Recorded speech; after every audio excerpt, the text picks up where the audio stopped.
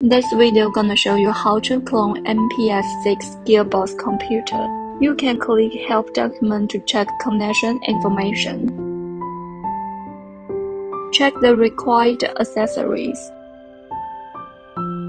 Install MPS6 interface board. Short circuit CAN resistor on the OBP ICP adapter to the CAN to our join site. Connect ACDP host, adapter, and gearbox. Open Mini ACDP app. Choose Jaguar Land Rover.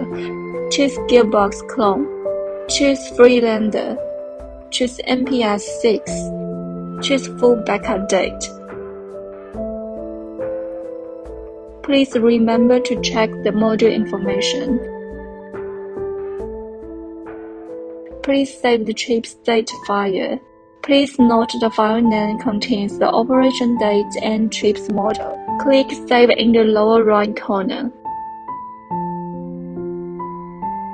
Backup chip state finished.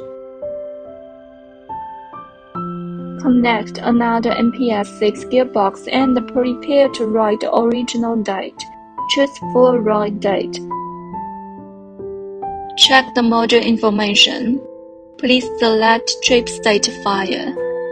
Choose full date we saved in the previous step. Follow the instruction and click Continue. Write chip state finished. Thank you for watching. See you in next video.